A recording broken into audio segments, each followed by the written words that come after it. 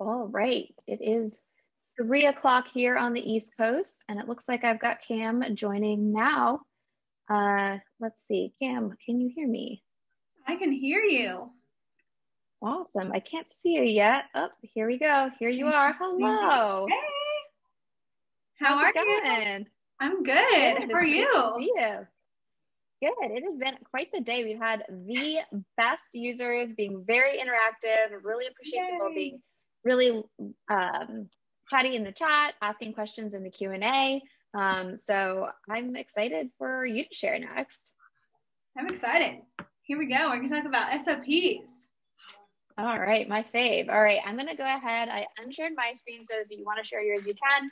Um, I do want to let everyone know that I'll be monitoring chat, so go ahead and chat things in, and I can answer how you would do things specifically in Goodshuffle as Cam is describing them. Um, and then I will also collect any questions specifically for Cam, so that when we get to the Q and A part at the end, uh, I can field those to you. So, by all means, Cam Petty, owner of Render Co., please take it away. All right. Hey, guys. How are y'all? I'm so excited to be here today. Um, for those who don't know me, I'm going to tell you a little bit about myself and um, hopefully you can resonate with maybe some stuff that I'm going to talk about today. So, I'm Cam. I am the owner of Render Events, Render Co. Um, here in Dallas, Texas. So, um, I think there's a people, a few people from Dallas here. Um, today's kind of a gloomy day out, but it's okay. I've got my big lights here and I'm excited to present today. So, um, for those who don't know, I have an online course called Rental Biz Academy and a podcast for rental professionals called the Render Podcast. And so um, we put out episodes every single week on Wednesday. So tomorrow at 5 a.m. Central, there'll be another episode, and I'm excited about tomorrow's. It'll be good. Um, I'm also a single mom to two littles. I've got a six year old boy named Brody and a three year old girl named Briley. They're super fun, super. Um, Briley's getting into the three year old stage, which is always a joy for those who know about three year olds. Um, I also have a golden retriever pup who's eight years old named Rush. And yes, after the 80s rock band Rush, um, grew up on it. And so that's his name. And he fits it for sure. Um, so I mentioned that I'm the owner of Render Events. I also have two other companies, Render Educate and Render Interiors. And so we do interior design, we do rentals, floral, event design under Render Events. And then I have Render Educate, which is where my podcast, online course, um, I have a mastermind and membership for rental professionals as well. And that's all under Render Educate. Um, and so it's a fun business that I've owned. Um, I started in 2010 doing wedding planning. And so that's where my background started was wedding planning. And so the coordinating side of things i uh, that's part of what i do. I, that's my jam. I love coordinating stuff. Um, and then in 2012 i had a client who was a lawyer at the time who said you know what? I have all this stuff. And for those of you who were in business back in 2012 you know that it was heavy diy people are going to pinterest and to etsy and they were getting all this diy stuff so think uh, burlap lay, burlap and lace and mason jars and twine wrapped bottles and all the things, right? So she had DIY'd all this decor. Afterwards, she said, "You know what? I am super busy. I'm a lawyer. I don't have time to go and sell all of this or keep all of these things. Do you want them? I'm sure you have other clients." And I said, "Yes, I do. I have so many clients who want the same stuff. So sure, I'll take it on um, and get it off your hands." And so that's what kind of kickstarted my love for rentals. And so from 2012 to today, we are still doing rentals and we've just integrated more services onto those between our interior design uh, brand, our floral, event design, and now education as well for rental professionals like yourself. So um, that's just a little bit of background. There's a lot of details to my story, but those are just a few um, quick ones. I am an Enneagram 3. And so, if you know anything about Enneagram 3s, you might know that I've got high energy. And for my students, I don't know if any of my students are here, um, but if you are, would you please say something in the chat? I want to say hi to you. Um, but for those who know me um, or follow me on Instagram or anything like that, you know I'm super high energy. My team would probably tell you on a daily basis that if I had to rate or if they had to rate my energy level from a 1 to a 10, they would say I'm on a 20 almost all the time. And so you're going to get some of that today through the way that I'm talking to you, through the way that I'm explaining things. I'm going to give you lots of examples, um, and I'm excited to get into it with y'all. Um, you guys have probably been here all day, and you've got another day tomorrow, which we're excited about as well. You're going to get a t- uh, look at our warehouse uh, tomorrow morning. I don't know if that was a secret or not, Karen, but spoiler alert if it was. Um, no secrets, no secrets. okay, good. So you're going to see my uh, warehouse tomorrow, which I'm excited to show you. Um, hopefully, Karen, you got a laugh out of some of the things that we said in our in our video. But um, so I want to introduce you something that we do here on my team, and it's going to probably play into my enneagram number a little bit. Um, so I'm going to ask you to get uncomfortable for just a quick second, for 30 seconds. I'm going to ask you to get uncomfortable and you might be totally in on this thing that I'm about to show you, or you might be totally out.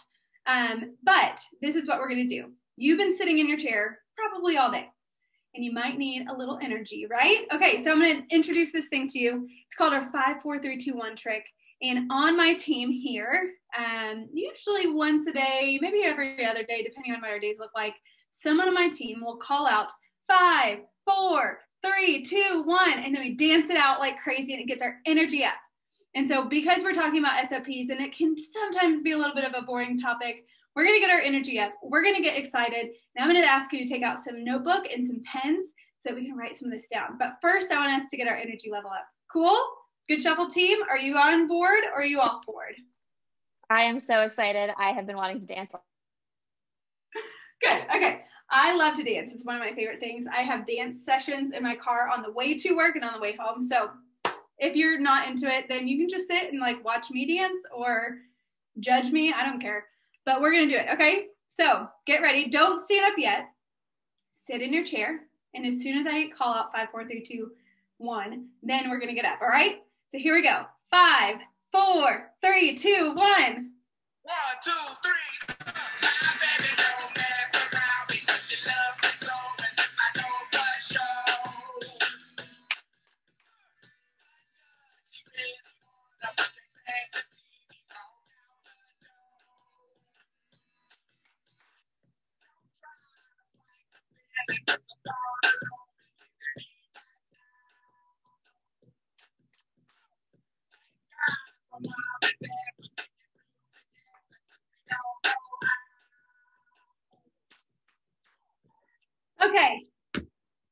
It with me?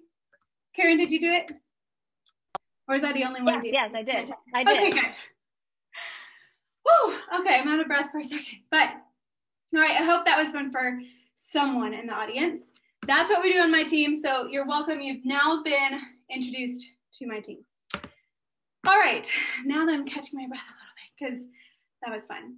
We're gonna. I'm gonna start this by telling you a little story, and I want you to think of yourself in this story for a second. Okay. So here's the story. It's called a bus test story, and you may have heard this before. I did not create this story. I'm sharing this story because I heard it and it really made a difference when it came to our SOPs. And for those who don't know what an SOP is, it's called a standard operating procedure. It's the way that you do what you do. It's the how on what you do. It's a step-by-step procedure on what you do. Whew, sorry, I'm like out of breath. Um, so here's the bus test story. A bus test is where you, as the owner, as the runner of your business, whatever your position is, that you decide someday you're going to take a walk, right? You're gonna take a walk through your neighborhood. You're gonna take a walk across the street, and you start walking, and a bus hits you. Bus hits you, and you are gone. You're in the hospital. Maybe you survive, maybe you don't, but you are hit by a bus. That's the bus test. If you are hit by a bus and your business is reliant on you, your business and your tasks are reliant on you, and nobody else knows how to do what you do, what happens? What happens? Are you set up in your business? Is your business set up in a way that if you were hit by a bus tomorrow, that your business would still sustain, your business would still be there and be around?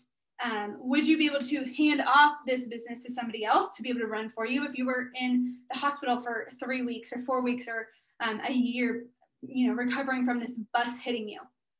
I know you might have been thinking that I had an acronym for this, like BUS or something. But no, it's literally a bus hits you, you're in the hospital, you don't make it, what happens to your business? If you thought about that, if you can picture yourself in that position and you say, my business wouldn't survive, or maybe it might survive for a month or two, but then it doesn't because nobody knows what to do, or maybe somebody else has to come in and take it over and it is completely a different business. Well, if that's you, then I want you to listen up. The thing that I'm going to tell you right now is bring out a notebook and a pen if you haven't already. You are five times more likely to remember something if you write it down. So I want you to write down the things that you want to retain and you want to remember, all right? So I just talked about an SOP. An SOP is a standard operating procedure. In Webster's dictionary would uh, say that it's an established or pre-subscribed method to a followed routine for the performance of designated operations or in a designated situation. That's a lot of words. So I'm going to give you a different definition. The definition of an SOP, standard operating procedure, is the how you do what you do. Simple. It's how you do what you do. It's a guideline. It's a clear path. It's a set expectation that says, here's what we do. Now follow what we do. All right. So it's the how on what you do, what you do. Chris Hogan, if anyone is familiar with Chris Hogan, he's one of my favorite um, educators to follow. He talks a lot about servant leadership. He talks a lot about small business and how we run our small businesses. He's out of the Ramsey Network, and so um, he has a lot of the Ramsey principles and core values that he holds as well. Um, and I love the Ramsey Network. I think it's great. Um, and so this is something that he says all the time. He says if you don't have clear expectations, you're giving your team the only option, which is to fail. You are only giving your option to your team to fail if you don't have clear expectations. And the way that we have clear expectations and the how we do what we do is through an SOP, it's through a standard operating procedure. And when you think about a standard operating procedure, it's just the standard. It's just the bottom line of what's expected. You can certainly do more than what's in your SOP, but this is the base. This is the very minimum of what you expect to happen within whatever task you are doing. And we're going to talk about what requires an SOP in just a little bit. But this idea about an SOP, it's just the bottom line. This is the um, minimum work that needs to be done. And so we're going to give some examples of what this looks like and, and how we put these together in just a little bit. But this is, I just want to remind you, this is just the baseline. You can do more. Um, and if you do something more than three times, just a quick note, if you do something more than three times, the same exact test. Um, for example, if you email the same thing to three different people, you might just change their name or the location or something, requires an SOP. Three things, three times that you do the same exact thing needs an SOP. Before we had SOPs, we were a hot mess. We discussed things over and over and over again on how we did what we did. And we would remind ourselves, oh, wait, what did we do again? When a client reached out, oh, wait, what do we do again? So we were a hot mess. We, we just talked about it all the time and we couldn't retain the information because it was just here. It was just here. It wasn't on our computers. It wasn't on paper. It wasn't anywhere that we could say, hey, the answer's in the SOP. Was here. And so any new employee we had, they had to ask me how we did what we did. Or they had to ask Kaylee, who's been on my team for over three years, hey, Kaylee, how do we do this one thing? And so discussing it over and over, not only is it a waste of time, but it also costs you more in payroll because you're taking away whatever that person is doing away from their task, away from their job and their role of what they do to answer a question. And so we've been writing and we've been reviewing this process for the last eight years, and it continues to evolve and change. So this is another thing that you need to keep in mind that when you create these SOPs, which are going to be, I'm going to tell you what types of SOPs and what forms that you're going to create these in. But when you create these SOPs, they're not just set there to stay the same way the day that you make them. They're not meant to stay the same way the day that you make them. They're meant to change. They're meant to evolve. If we learned anything from 2020, it's that we can't be too comfortable in what is set, right? That we need to be able to um, flex. We need to be able to um, make different decisions when they're needed, right? And so when you make these, make sure that you keep in mind hey, these can change at any point if they need to change. You don't want to change them too often, but you do want to have the option there that hey, if, the, if it needs to change, it needs to change, right? So what exactly is an SOP? Like legit, what is it? Well, it's going to be in a few different types of forms. You could have photo SOPs, you could have video SOPs, you could have typed out document SOPs, um, multiple different forms of how you can create these. And so we're going to talk about each of those. So photos as an SOP, these could be either supporting documents or literally the SOP itself. based on what you what what you're using it for. And so um, this is really great if you need to show something, if it is more than just typing something out. Like if you need to say, um, let's say, for example, um, Goodshuffle Pro, you're in there and you need to show exactly how you um, type an email to a client within the client uh, communication tab. Well, if you need to show exactly what you're going to write, you might take a photo or screenshot of that and put it in your SOP. It's a how or the what. Um, a video, this is, I would say videos are probably more common than photos. So a video is if it also needs more than just typing something out. And so if you need to show in Goodshuffle, like um, how to put together a quote for a new employee, instead of having them reach out to Goodshuffle or go find these documents, you could have some internal way that you do it. So let's say you put in the client first, and then you put in the venue second, and then you update the um, project name, then you put all those drop downs, then you start working on the quote, or maybe you do all those things and you start to work on the notes before you work on the quote. There's so many different ways that we can kind of do this, and you have a specific way of how you want it done. It needs an SOP. It needs an expectation. Like if you have this thing and you're like, I expect you to change the project date every time, and I expect you to put this, and I expect this, and I expect this. If you don't have an SOP for it, they won't know. And if you tell them once, they still won't know. They need to have it written down.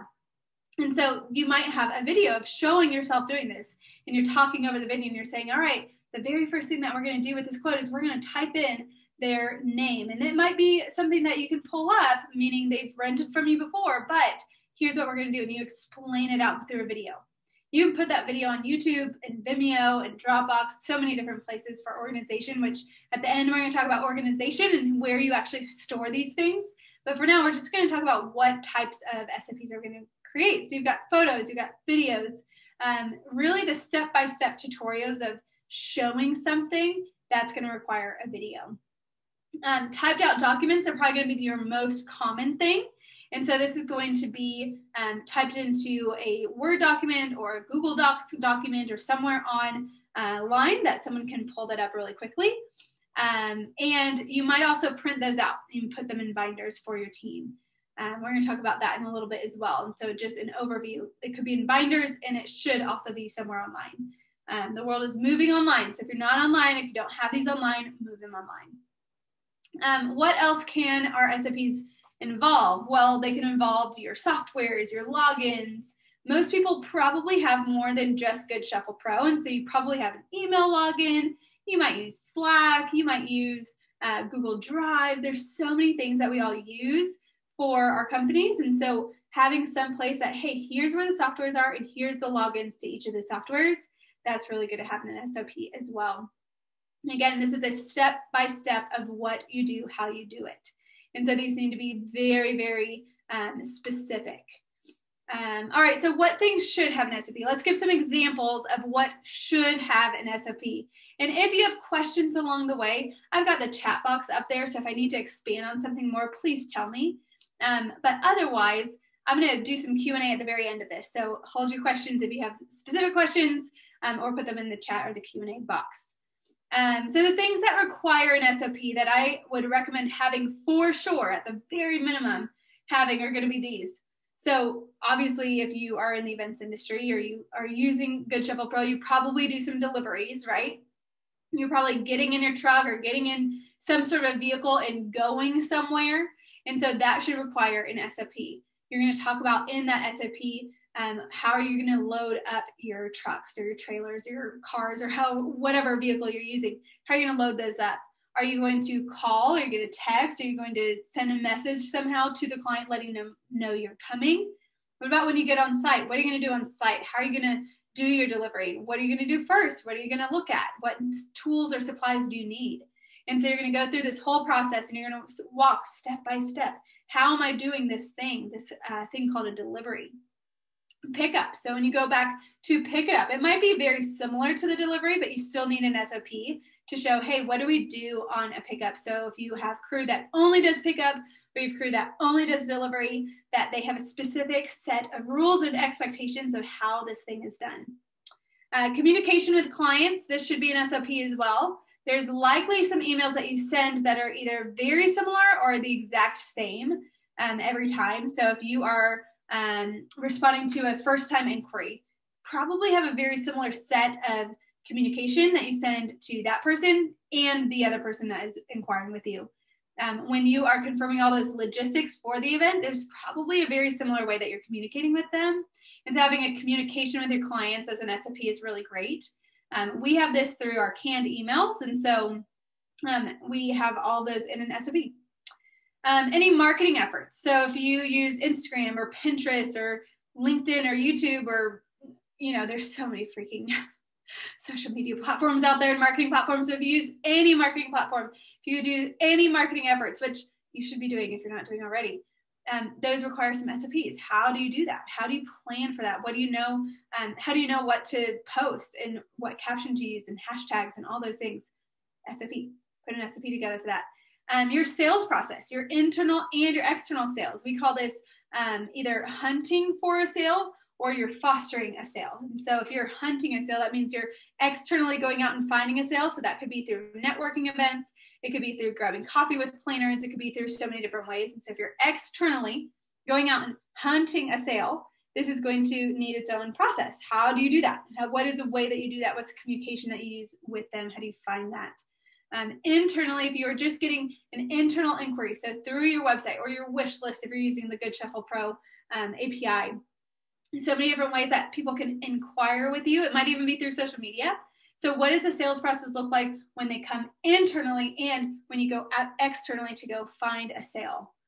Um, training documents is a great SOP as well. Every position on your team, you probably train very similar. And so, if I had um, a salesperson that I train, if I hired another salesperson, I'm probably going to train them very similarly. And so, you want to create some um, SOPs around this. We have a great um, in my opinion, a great hiring process of how we do our hiring and our training. We call it the Render University. When you uh, join our team, you go through Render University. And so we have um, 101, 102, 103, 104, 105. That's your first week, and you're kind of going through those first freshman classes through that. And then the next week, you're going to go through 201, 202, 203, 204, 205. Super fun. Um, maybe I'll do another talk on that with Goodshuffle Pro another time. Um, but you want these training documents to have an SOP. You probably train people very similarly. You want to make sure you're not leaving things out. Um, the other thing is a fulfillment. So not only is it when you are getting a sale for a uh, client, but you also are going out and delivering it. But what happens in between? So when they book with you and you actually go out and um, deliver that, what happens there? Are you going to communicate with them? Is there any logistics that need to be taken care of. And so you might want to do that. There's so many ways that you can do an SOP. Those are just some very quick ones for rental companies specifically. Um, and florists. Florists can use the same thing as well if you're a florist or a DJ company. Um, but you might have some additional things that you do in your business. Obviously, we have an education platform. So we have SOPs for the education platform, for our podcast, and for um, Instagram lives when we go live, and, and things like that. And so you just want to make sure that everything that you do the step by step process of how you do something has an SOP. All right, so how are we going to put this together? Well, there's a few things that I need you to know, whether you're a solopreneur or you're part of a team, that you need to know first before you set out to actually do these. And I'm going to talk to you as a solopreneur and I'm going to talk to you as a team member of how to put these together. But before you do this, no matter what you are, or who you are in your business, I want you to first define your why. Why do you do what you do? I think it's always important to remember what our why is when we go out to do marketing, when we go out to do training, when we go out to do really anything. In my team, we have six core values that we hold very tightly to. And every week on Monday mornings, when I have our team meeting, we recite these core values every single week. And um, anytime that we have a big team meeting, when we do training meetings, we recite our SOPs or we recite our core values. And so um, the very thir- first thing I want you to do before you go set out to do these SOPs or go revise your SOPs is define your why. I think it's very important to remember why are you doing what you do and reset those intentions. The second thing that you're going to want to do is you're going to um, want to think about how do you want your customers and your team to feel on the other side of this SOP. Do you want them to feel um, more knowledgeable? Do you want them to feel valued? Do you want them to feel uh, cared for? This also goes more for um, not only the customer, the paying client, but more than just the paying client. What about the mother of the bride? What about the planner? What about the other vendors? Um, what about um, any other companies that are associated with this?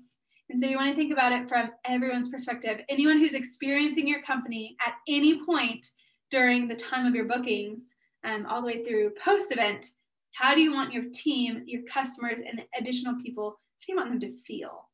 Define what that means before you set out to do these SOPs. And then I want you to think about this from two different perspectives when we are creating these. First is what is the intention and how can we be more intentional through every single piece, every single step that we go through in this SOP. And the second thing is how can we anticipate what might throw us off? Intention and anticipation. Those are the two things that you need to keep top of mind when you're going through these SOPs. All right, so for those who are solopreneurs, I know there, there's probably quite a few of you solopreneurs who are here today. We're going to talk about how do you put these together when you don't have a team to help you put them together. The first thing that I recommend to my solopreneurs is have a friend come in and shadow everything you do for a week or a day or however long it takes. Have them shadow what you do and write everything down.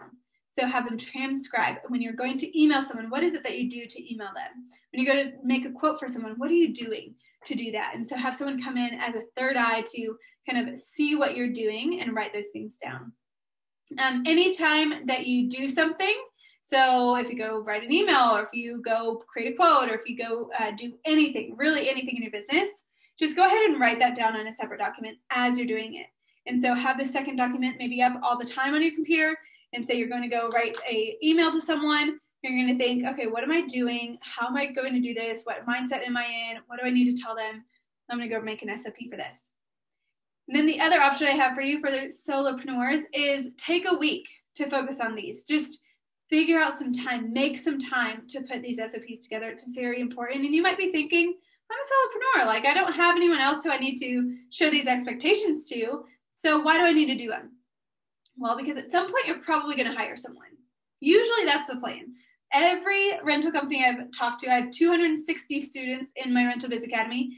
Every single one of them, whether they've started, they haven't started, they're a solopreneur, they have a team, whoever they are, they plan to hire someone at some point. And I recommend you doing it before you hire. So, as a solopreneur, figure out some time to do it. I did not make SOPs before I hired. I will tell you right now, I'll be the first one to tell you I did not make SOPs before I hired and I regret it. I actually bought a course on how to hire, and inside of that course, it told me I need to make SOPs before I hired, and I never carved out the time to do it. I always figured I'm too busy, I'm too busy, I'm too busy. I have all these things to do, and I'm solopreneur, and so I'm doing all the things.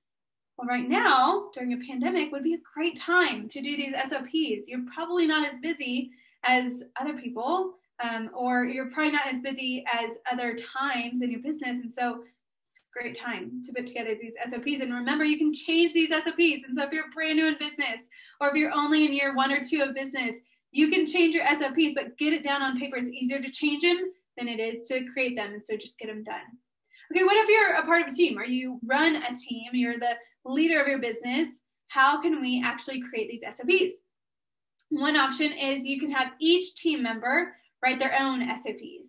Um, I'm a part of a networking association called NACE, National Association of Catering and Events. Goodshuffle Pro is actually a national partner of them. Um, and so we love uh, seeing them every time that we do a NACE thing. But in NACE, um, I'm a board member of it. And so here in DFW, I, um, right, this year I'm over community service, but a few years ago when I joined the board, we had to do our own SOPs for our position on the board. And it was tough to do in our first year doing it and i didn't know what i was doing but put these sops together. And now every single year we just tweak them a little bit um, based on the position how we handle that position. And so you could do the same thing where each team member is going to write their own sops you could also do it as a team so have a big team meeting maybe it lasts a couple days or a couple weeks and you're going to put these sops together and kind of weigh in on what uh, what happens and if you know there's overlap of you know, Kaylee does it one way and I do it another way. Well, let's wrap those together and see how we can do it better. We did this in 2018 as a team, and we've revised them every single year during our annual planning meeting every December. And so, like I said, it's easier to just do it, just get it done, and then set a time every year to just come back and, and revise those and change them. Okay, I mentioned that I want you to anticipate every time that you were putting these SOPs together. Well, what do I mean by anticipate? Well, we all know that things don't always go to plan, right? This happens all the time. Nothing is perfect 100% of the time. We hope that it is, and we try to make it perfect as much as possible, but sometimes things happen. And uh, like, for example, a couple years ago, probably closer to five or six years ago, I went out to go do a delivery. This is when I was solopreneur. Showed up at my warehouse, hooked up the truck and trailer, set out, got everything loaded, and realized that the um, what's the cap that goes over the tires? That thing came off and it was laying on the tires. And so if I were to drive, that would come off. Thankfully, at the time, I was right across the street from a truck company that fixed trucks, and I was like, "Hey, I need some help. I need someone to just like reattach this for me." So they were able to do that. I don't currently live close to someone who can do that for me. And so now we have in our SOPs, hey, we're going to anticipate something not going according to plan. Your trucks might have issues. You might have uh, tires that go flat overnight. You might have a battery that goes bad. You might have inventory that breaks. You might double book something accidentally. Um, whatever that looks like, there's going to be something that throws you off. It would be naive of you to tell yourself, nothing will ever go wrong. It'll always be this way and it'll be perfect every time. That would be naive and that would be foolish of us to think that. So we want to anticipate before something does actually throw us off. So instead of reacting to something and just figuring it out on spot, which usually we're pretty good at doing, let's make a plan and anticipate what might happen ahead of time. I'm going to give you two examples here. And the first example is something that we're actually dealing with in real time. Here in Dallas, it's usually pretty good weather. In fact, Karen and I did a live, I don't know, a week ago, two weeks ago or something, and it was like 75 degrees, sunny, it was beautiful, it was amazing. Well, this week it is supposed to snow on Saturday, and it's supposed to be freezing cold. It's supposed to, I think the high is like 25 degrees, which is very odd for Dallas, Texas. Um, but this week it's supposed to be cold, it's supposed to be rainy, could be some ice, could be some snow. Um, the snow won't last. I guarantee you it's probably going to leave within an hour, but Nonetheless, we're to have some weather issues happening. If you live in the Pacific Northwest, you probably know that there's rain. Rain plan could happen um, at any given moment. And so we want to anticipate weather that might throw us off. And so here's a very real example of how we anticipate weather throwing us off. And so if weather comes up, we have three options of what we're going to do. So if we look it up, when we say, you know, it's going to snow on Saturday, well, first of all, we're going to assess the weather. We're going to see what is the inclement weather that's happening during the event or before the event or after the event based on kind of our schedule and when, when we're delivering and all of that. And we want to contact the client and see what rain plan they have or what snow plan they have or whatever um, plan they have already because we don't want to necessarily make our own plan if they already have one. So we want to check with the planner first. If there's no rain plan, if the planner says, oh, we thought it was going to be great, which happened a few years ago, and it totally got rained out. Um, we're going to help come up with a solution. We're going to say, hey, what if we rent a tent? Or uh, what if we move everything inside? Or what are some things that we can help assess and um, assist with uh, when it comes to creating this rain plan or snow plan? Um, if the client refuses to uh, create a solution, we're going to send an inclement weather waiver and have them sign off on it. And so I'm literally telling you exactly what we do contact the planner. If there's no rain plan, we try to help put together a rain plan. If they don't want to use a rain plan, we have what's called an inclement weather waiver that they're going to sign uh, before we come. The inclement weather surrounding the event, so if it doesn't happen during the event and the planner on site or someone on site is like, hey, it's fine, we're good, no big deal, we're going to continue going how we are but whether it's um, icy before we come, or it's icy late at night, or something is going to prevent us from doing our job well, we want to assess the conditions of the road. So, um, do we need to put chains on tires? Do we need to have uh, different transportation? Maybe we don't take a big box truck that has um, two wheel drive or front wheel drive because here in Dallas, there's not a lot of four wheel drive here. Um, or do we need to have maybe a four wheel drive truck and have different transportation? And maybe we need a different route. Maybe it's going to be rainy. It's going to flood out some roads that are we're supposed to take on the way there. So maybe we need to figure out a different route. Um, the second option that we can do with this is we need to add a buffer into the schedule. And so if there's going to be snow on Saturday like this weekend, perhaps we create some sort of a plan that says, okay, crew, instead of coming in at 12 p.m., why don't you guys come in at 11 a.m. so we make sure that we have plenty of time to get there in, in case we have to go slower. And then the third is we just want to communicate with our client. Every single time that anything changes, we want to make sure we're communicating with that client. So that's a real time example of how we've anticipated weather happening and what we as a team are going to do to overcome that. Okay, another example that you may have experienced in your own business is inventory is damaged. I hate it when that happens. When you go to go get the thing off the rack, you go get your chair, you go get your plate, you go get your whatever it is that you're getting, pull it off the rack, it's damaged. Oh, hate it when that happens. Okay, so what are we gonna do when that happens? Because we can't be naive. Again, we can't say it's never gonna happen. My inventory is gonna be perfect 100% of the time because there's gonna be a chance that it might not. So the first option is can we pull the same inventory to stock and replace that item? So do we have more of that that we can just go ahead and pull that without conflicting with other orders? Can we replace it with a similar inventory? So if you're a DJ, for example, and you have a very specific speaker that you're supposed to bring, and the client requested this certain speaker because it um, has the loudest sound. I know nothing about speakers, so I could be totally making this up, but just go with me here. Let's say the client specifically wants this one speaker and it's broken, you have none to replace it. Well, can we find something similar to it and just communicate with the client, hey, there was an issue that came up. We picked something very similar and we're going to bring this. Um, both when when we do this, if we're going to replace it with the same item or replace it with something similar, we do need to make sure that we check with Goodshuffle, our software, to make sure that that item is not being used on another item. This especially is true when you have, um, and perhaps you've been in a situation like this where you have 20 events on one single weekend and you have lots of overlap that might happen. So we're going to make sure that Goodshuffle is telling us, hey, are we good to actually take this item or does it need to go out later today? Um, the other option is can we source it at another rental company? So let's say, for example, um, I have a few pieces out in my back that I know for a fact that other rental companies very close to me have as well. And so if it's damaged, if there's nothing to replace it, if that one can't go out, can I call up my other rental company friends and say, hey girl, I actually need to rent that other thing. Do you have that available? Can I rent that from you uh, for today because I have something that's damaged? Um, and then the other option, and this we always need to do this, is we're going to contact the client to let them know what our solution is. If they are like, yes, great, this is a great op- option, we're going to send the item, but we're also going to bring a second option. Again, we need to check with Goodshuffle to make sure that we can actually bring that other option um, and, and make sure that's bringing uh, coming there. We're also going to make a note um, at the venue what the client actually chose on the paper, and so we're going to make sure that we're communicating with our client. If the client says, nope, that doesn't work for me, I don't want that, I want to make sure that I get exactly what I paid for and what I'm expecting, um, then continue to try to source. And as a last ditch effort, you might have to refund that person. And so, again, we're anticipating some issues that might come up to make sure that we are um, good to go for that. So, I want you to think of some scenarios and see what could go wrong.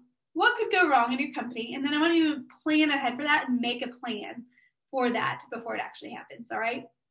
All right. So when it comes to training, I know that some of you might be thinking, my team will never do this. They'll never do this. They've been working for me forever. They'll never go according to SOP. They're just going to do what they've always been doing, right? Well, I'm going to give you two options here. You have either new employees or you have existing employees. For the new employees, you're going to make the expectation that you need to follow this plan this is how we do what we do, and so you need to follow that. They don't know any different, so it's all good. For your existing employees, if you get into a situation where like they'll never, ever go according to this, they're going to do what they've always been doing. Well, tell them that, hey, this is the new standard way that we're going to do things. You might recognize that there are some similarities into how we've always done things and what these SOPs say, but I want you to make sure that we're going to uh, go according to this. You are probably the leader of your company, you might be the boss of your company, they need to respect what you're saying. Um, have a training day with them. This is something that we did when we started our SOPs, and anytime that we've revised our SOPs, we put together this training day with our team. And you know, there's been people on my team that have worked with me for five years. They probably would probably say, "Look, I've been doing the same thing for this for this whole time, and it works out great. Why would I change what I'm doing?" Well, I've told them, "Hey, this is this is what we're doing." And so we want to have a big training day, make sure everyone's on the same page. Refer back to it weekly and make sure that you're holding them accountable to it. um, and then have some follow-up trainings. And so what we do is we do one big training every year to make sure that, hey, any SOPs we had this last year, here's some changes that may have happened. And so we're going to train you on that again. And then maybe you have quarterly or um, every six months you come back and you say, all right, hey, how's it going? Where are we at? Do we need to change anything? Um, let's do a mini training day again. Um, and then make sure that your uh, managers, anyone who's representing your team, out there are doing it and they're keeping everyone accountable as well. Um, I'll tell you a quick story when it comes to this. So, um, uniforms and how we show up is in our SOPs. We want to make sure that we're all dressed similarly. Um, I provide uniforms to my team. And so um, I sometimes will make surprise visits to some of my deliveries. And there was, uh, gosh, probably a year, probably about a year ago in February last year, before the pandemic hit, uh, we did an event and I showed up on the delivery. It was like, hey guys, I was just in the area, figured I'd pop by. And I noticed that one of my team members was out of uniform. He, um, our uniform is usually black shorts or black uh, golf pants, black golf shorts or black, black golf pants with a black polo and either black jacket, black hat, black shoes, black socks. We want to make sure that we are um, just kind of in the background and we're not making too much noise with our uniform. That's just our brand and how we do things. That might not be your brand, and that's totally fine. That's our brand. And so I showed up, and this one guy, he was in jeans with a black polo and black everything else. And so I said, Hey, I'm not going to say his name because there's some people here from Dallas, and I don't want you to know who it is. But I said to him, I said, Hey, um, you're out of uniform you know that we have black shorts and black pants. And so I just want to give you a friendly reminder that you are going to need to make sure that you change before your next stop um, and get back into uniform. And so I kept them ac- accountable to that. Um, and it never happened again. I called him out and he realized, okay, yeah, you're right. I'm not in uniform. Um, I also in team meetings, so we have a team meeting every Monday. I'll just ask some specific questions off the SOP. I know the SOP very, very well. And so it's I don't usually have to refer back to it, but I'll just say like, hey, are we texting the client every time that we are leaving and going to the location? And they have in real time they can tell me exactly what we're doing. And so just checking in with your team, make sure that they're actually doing it. Um, keep them accountable to it. If you just put it out there once and um, leave them alone with it, it's hard to tell if they're actually doing it. And so you want to make sure that you're just keeping them accountable to it, right? So how does this um, SOP thing, how does it integrate with Goodshuffle? Well, you likely have a way that you use Goodshuffle. Um, I'm sure that some of you use Goodshuffle maybe a little bit differently than I use Good Shuffle. I've actually popped in here a couple times, and there's some things that I've learned about Goodshuffle. So thanks for putting that on. Um, and unless you've taken our online course, Rental Biz Academy, you might do it very different from us. If you took our course, you probably do it very similar to us because we, tra- we train a little bit in there. Um, but if you are using Goodshuffle Pro and you need to use uh, our SOPs, you probably have a step by step way that you do things. Your sales process, your booking process, your fulfillment process. You should have an SOP that shows exactly what you do. Because if you're hiring someone new, they probably don't know what SOP or what Goodshuffle Pro is unless they've used it before. And even if they used it before, you probably have a different way that you're using it. So you want to make sure that you have an SOP that shows exactly how you're using Goodshuffle Pro and everything else in your business. Okay, the last thing that we're going to talk about is organization. Where are you going to store all these things? Your videos, your photos, your typed out documents, um, anything that you use in your business. Um, so the first option is going to be Google Drive or Dropbox. Those are really great storage options. You want to make sure it's somewhere where anyone can access it on your team. You can just share a link with them and pull it up um, I can usually pull up my SOPs on my phone um, and be able to quickly get to them if I need to. And so you want to make sure that it's it's easily accessible. And Google Drive or Dropbox is a great option for that. If you have videos, you might be able to embed those straight into your documents. But otherwise, um, like for example, we have YouTube channels that we do some of our education on. And then we have some sub YouTube channels where we're just going to put those SOPs on there. And so we have like an education YouTube channel that we put all of our education SOP videos on, our events channel that we put all of our events SOPs on, and so on and so forth. And so YouTube or Vimeo is a great option to host those videos if you don't want to host them in your Drive or your Dropbox. That can take up some storage. And then um, printing them out and having binders in a specific spot in the office. Hey, here's where the SOPs are. That's a great option to have um, or having binders with those SOPs at a specific location wherever that task is done. And so if you have one that is um, maybe it's all deliveries and pickups, maybe you store that in your trucks. You have multiple binders for multiple trucks and you put them out there, or maybe they're in your warehouse. Um, maybe they're in a specific office. Like if you have a big team, I've seen um, teams in like you have your sales team in an office, you have your marketing team in an office, so you put those in those places. Um, so those are some just quick organization tools for you. Um, I have a couple things I'm going to share with you. Let me share my screen here. Um, I have our SOP bundle that I would love to share with you guys. Let's see. Okay, share. All right, so here is, here, let me see if I put this in full screen. All right, so um, we have our SOP bundle template. Uh, we do charge for this. This is a template that we've created and it has every single SOP that we have in our business and you are welcome to check it out. There's a QR code, so if you take your phone and you hold it up there, it should scan it and pull it right up. And for showing up today and being a part of this summit, you can use the code GOOD SUMMIT for 15% off of that bundle. And so we'd love to share that with you.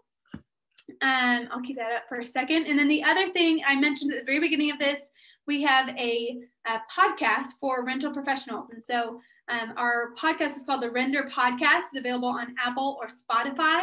If you use that QR code, that'll pull up the podcast. And so um, we have tomorrow will be 45 episodes, and a lot of the episodes are very um, specific on rental procedures and how you do what you do. So um, check out the Render podcast. We'd love to um, have you as a listener. And if you guys have anything that you guys want to hear, shoot us a DM on Instagram and we'll put together an episode for you.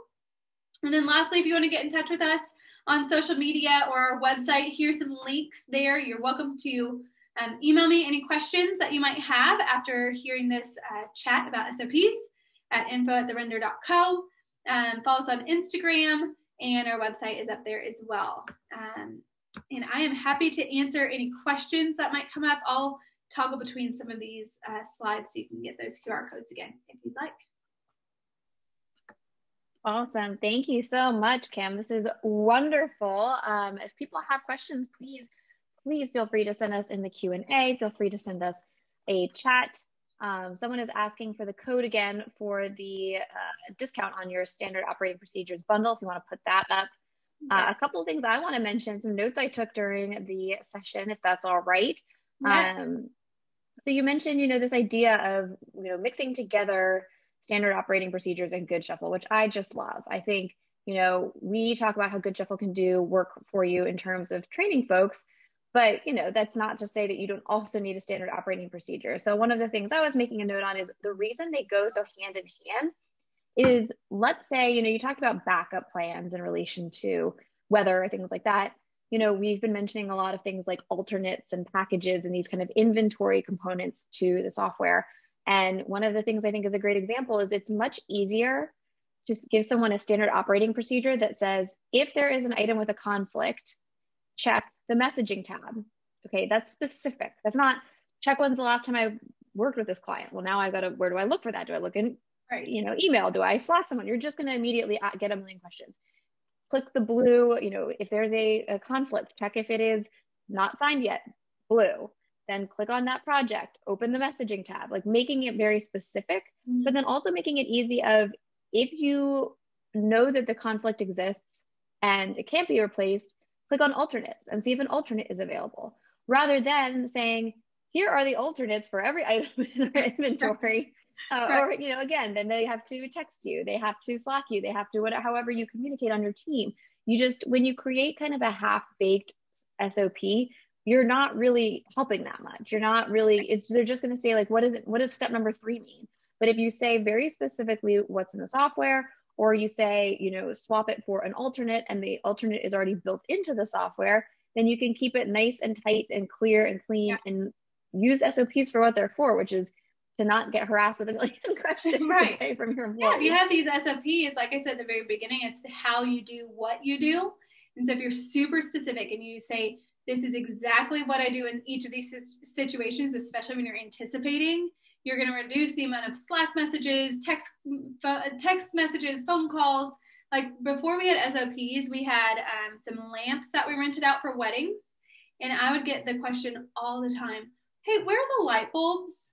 I can't find the light bulbs. Where are the extension cords? Like they're in the warehouse. What, what do you mean?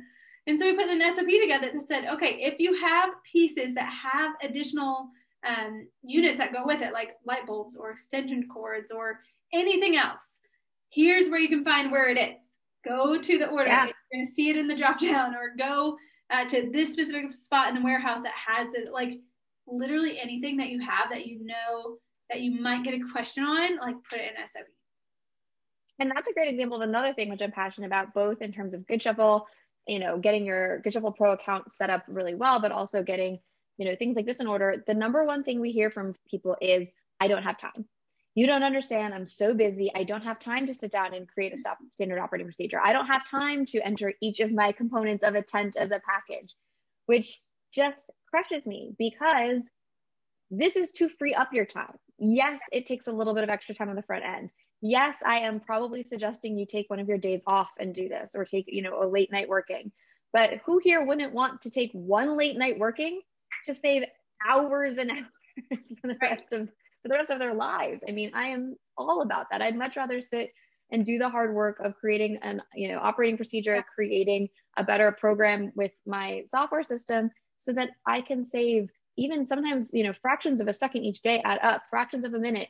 That stuff adds up. Yeah. And it's really not to take your time, it's to save your time. Well, there's certain times that when we didn't have SOPs, I had to leave uh, my son's soccer game early to go help out and go answer a call. Or um, when my daughter was, um, she had a little recital for uh, Christmas, and someone was like, "Hey, I can't find this," or you know, this thing is damaged and what else do I send? I'd have to step out to go answer the phone to do something. So not only is it going to save you time and payroll later on, but it's going to save you from maybe some of those family events that you want to be a part of.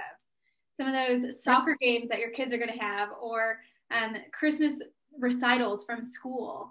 Um, and having SOPs is a, a guaranteed way that you're not going to have to answer the question in the middle of a soccer game that you really want to be. Right. Well, and it's funny. So that also makes me think of another thing I wanted to mention. So you talked about the bus theory, which I've heard before. I actually do have to say, since you know getting hit by a bus is pretty dark. Um, I had a boss once, maybe not my favorite boss, but I'll give him credit for one thing, which was uh, he called it the tuba camp theory. So he would say, "What happens if you go off to tuba camp?" A little later than the bus theory. Yeah, I mean, kind of the concept, bus is definitely. You know, a thing. Okay, so maybe you change it to be you get COVID and you have to oh, be gosh. in coma for you know four weeks. That might be a little bit more realistic. Cam, you're going to dark places. We're going to keep it I mean, can. Maybe we can have something cuter later. You know, here, so I don't get it now. Maybe it's something like really great, like you get a all expenses paid uh, vacation to Hawaii.